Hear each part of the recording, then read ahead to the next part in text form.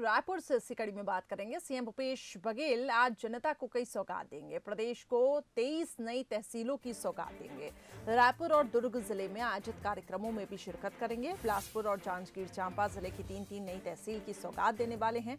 रायपुर, दुर्ग, कोरबा, बलरामपुर और रामानुजगंज में दो दो नई तहसीलें। धमतरी, राजनांदगांव, बालोद, मुंगेली सरगुजा में एक एक तहसील।